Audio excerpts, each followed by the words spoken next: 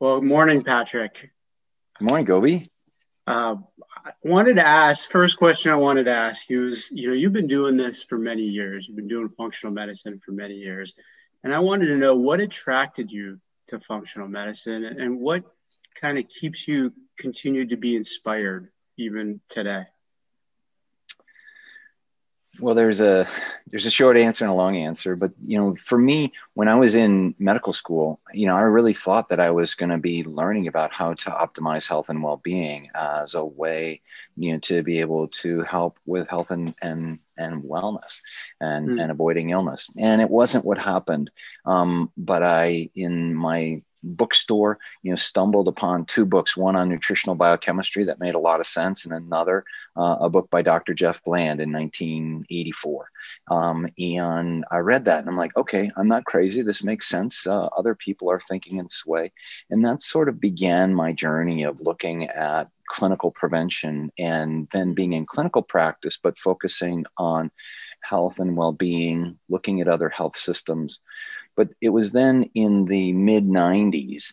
Uh, as I was in practice and had had experiences on faculty in the Department of Family Medicine at University of New Mexico and working with uh, indigenous peoples, the, the Pueblo peoples in New Mexico and the, on the, the native Alaskans, the Yupik people on the Bering Sea, where I saw, you know, the how um, the the important use of the Western medicine and the acute care medicine, but that the uh, depth of chronic disease was just so tremendous, um, and that other things needed to be done. And and at that point, I turned back to Dr. Bland and, and began to learn the idea of functional medicine that just made so much sense to me because it was like a, a modern day manifestation of you know five element chinese medicine or ayurveda or tibetan medicine of integrating uh, all of these elements together and really focusing on the root cause and that's uh, you know that's it got me and and then even better was as i started to do it it worked. It helped people. And uh, you know so i was caught. How did you get connected to to yeah. functional medicine? So I mean, so there there are a lot of different a lot of different reasons, but I would say like just like a story here. My my mother was actually she was diagnosed with uh, ovarian cancer, and uh, she went through chemotherapy, she went through surgery, and she did really well. She she actually went into remission, and I remember having that appointment because I, I tried to accompany her like to all the visits I remember the last visit with the, or, or one of the visits with the oncologist and, and him saying, uh, you're in remission, you know, and, and my mom asking, what do we do next? Like, what do I do now? And he said, nothing. You know, he said, we, we wait, you know, we wait every, you know, for three months and we do another scan. I guess they call it watchful waiting, you know, in oncology. And, uh, and to me, I thought, well, well, why wait for the disease to come back? Isn't there something more that that she can do, like something more like active waiting? And so I started doing some research. I started looking into things, and that's kind of what where I found functional medicine. I, I, I found a lot of different like articles. I found the IFM website, and I took a GI module, which uh, Patrick, you were one of the actual lecturers. You were very inspirational. So like, I uh, I started taking some of these modules. I took that module first, and then I thought, you know what, like I need to become certified in this, and so I continued down that path. I took my test, and uh, uh just at the end of last year, uh, received my certification. And so, yeah, exactly. I'm very excited. I have my, my certificate right here. I'm going to put it up here on the wall next to my other uh, diplomas. But, you know, really excited to, to really start my journey uh, in functional medicine and follow in the footsteps of, uh, of people like you. Well, thanks so much. So, when um, when you started medical school, what, what was your what was your focus? What what drew you to medical school, and and how would you approach you know others who are going into medical school? What what advice would you give them now? Yeah, it's a great question. I think you know as I went through medical school, obviously you go through so many different specialties, and and I found you know what really excited me the most was was uh, the relationship with with the patient, like the the the interaction that that you know I would have with them. Uh, and you know, I, I got into palliative medicine. I just, you know, my patients, uh, you know, I, I, feel that my patients with cancer are at times going through uh, the most difficult times in their life, and so. Uh, you know, they all have different experiences and different ways to approach that and uh, you know for me it was it's it's uh it's a privilege to be a part of their journey. And so uh, i would tell people you know i would i would tell people who are going into medical school or trying to find a field I, you know, I do a lot of teaching now you know find something that's meaningful find something that gives you some some happiness at the end of the day. I mean i i'd say I, every day i learn something from my cancer patients uh, uh, as they fight as they as they go through their journey. And so uh, that's how I found myself in, in palliative medicine. And, and uh, you know, with functional medicine, I've just, it's opened up this whole new set of modalities for me to, to take care of these patients. Uh, I imagine you use like a lot of these modalities. Do you see a lot of cancer patients or do you take care of a lot yourself? I'm, um, you know, after the recent experience I've had with cancer, uh, you know, as a cancer patient, uh, I've started seeing, I've, I've, I've, um, I've been, you know, seeing more cancer patients. Uh, it's been interesting because I've never um, placed myself in a situation of trying to be an integrative oncologist, you know, of, of really being, you know uh, the the cancer doc. But what i found was that you know learning to use the tools of functional medicine to be the healthiest patient i can be in this case the healthiest cancer patient I can be really helped to be able to uh, optimize the, the treatments that I received and, and help me to do just as you said with your mom of like, okay, so now I've got no evidence of disease. You know, it was a you know stage stage four laryngeal cancer and you know I'm two years out now and and yet it's still an active journey you know it's like what i'm doing with nutrition what i'm doing to support my immune system what i'm doing to deal with micrometastases what i'm doing with my connection to you know passion in my life and and learning well what are the the the gifts the lessons of transformation mm-hmm. that that cancer helped to give me um, so I do, you know, work now with cancer patients to to work to optimize their health and well-being. And what we find is that, you know, they go through and their oncologists are are looking at them and saying, hmm, you're not acting like as sick as other cancer patients. You're not having the same kinds of side effects and problems, you know. Um, and some of them are saying, what what are you doing? And that's pretty cool to me. Yeah, that that is great. I mean, you know, I find like in palliative medicine, we have, you know, we, you know, we treat the symptoms. And in our clinic, we, you know, we see a lot of cancer patients. In fact, cancer pain, cancer symptom management is primarily what we see.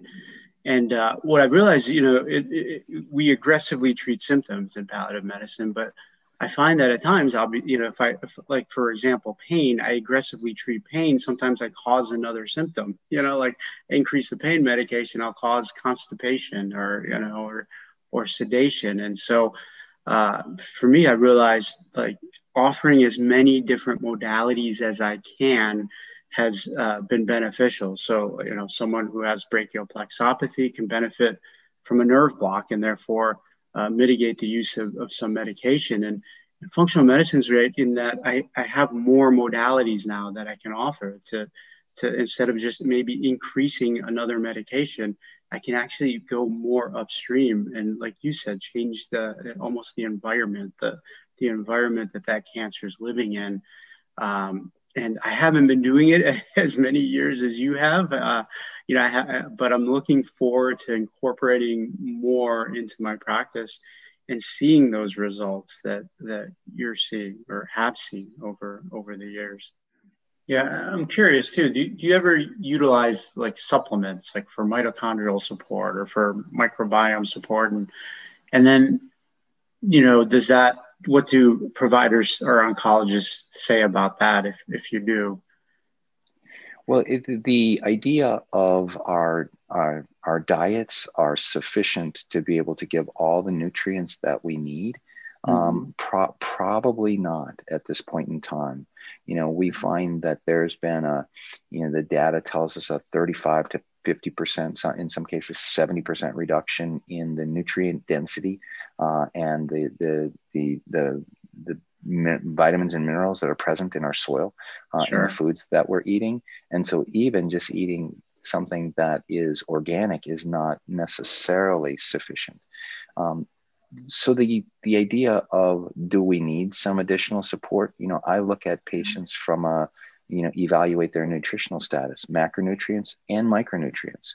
You know i, I focus more you know the baseline diet is going to tend to be a, a more uh, plant-based or plant-focused uh, diet that is going to have a rich diversity of, of varying um, fruits and especially vegetables in it uh, I may need to help the, the microbiome. I may look at the microbiome to be able to say what's going on, particularly now as, as we have opportunities for immunotherapies. And we find that those, those immunotherapies in cancer are going to work or have side effects depending upon what's happening in the microbiome. Like the data on that's really clear. It's yeah. amazing. And so we need to have the right balance in our microbiome and we need to be able to support that.